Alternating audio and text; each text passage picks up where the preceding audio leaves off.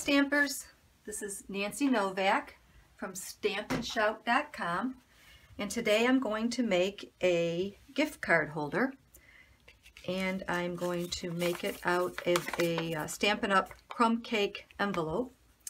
Here are a couple that I made already. Merry Christmas, Merry Christmas. I like this one, it's got some snowflakes on it. And the way they work is open it up and you slide your gift card in. You could write something here and you can write a note here. Anyway, I thought they were pretty cute. So let's get to it.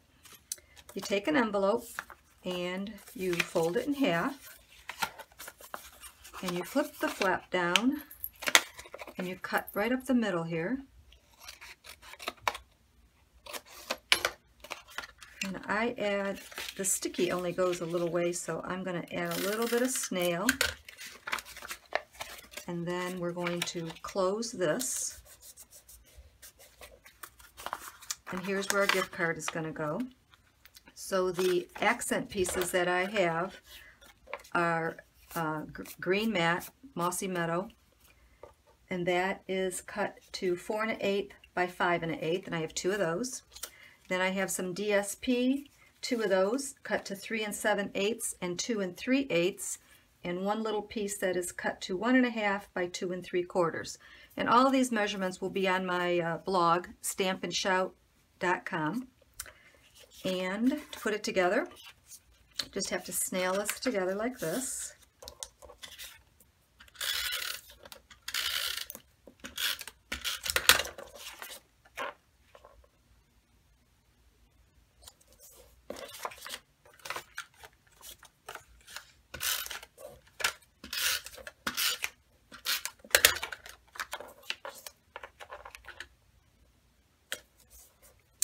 And for the inside, I'm going to, I used um, the label punch and the scalloped punch. Inside, I'm going to put a blank one.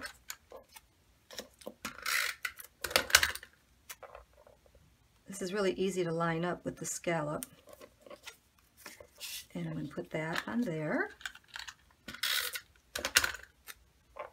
Right in the center. And for the front, I have a greeting.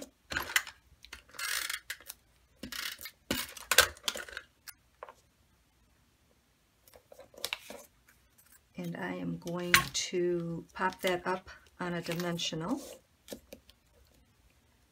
And this one we're going to place a little bit towards the top because we're going to put a brad at the bottom. Oops, here's my little measurement uh, so I can find the center. Put that up near the top. Bring back in the envelope. Here's our little piece that we cut, which is going to go right here. Just snail the back of that.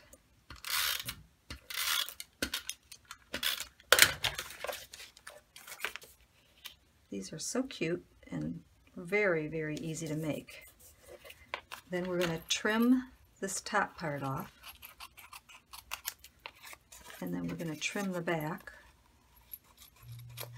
And then angle this side right here.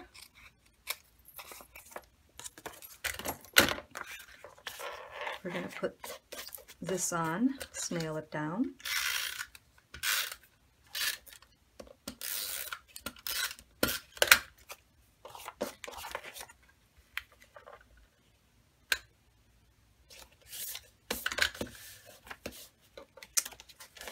And for the front, bring my little guide back in here. There's my little hole that I figured out where I want to punch my hole for my brad. Show my little measurements there. Punch the hole for the brad. I got these cute little jingle bell brads. I thought they were really cute. I'm going to add a little tiny piece of cardboard a little bit thicker to make this little card a little bit thicker for the brad so it holds on a little bit better. There's not so much wiggle room. I just glued that on really quick. Actually, I punched a hole too. And glue that on. Pop the brad in. Oops, glue's not set yet. This way the brad won't show the back of the brad. And then I have this twine, and this is how you attach it. Now here's how it opens up. So I'm going to put it just a little bit left of center. Just tape it on there with regular tape and make a loop and bring this up. This one's in the center. Tape that down.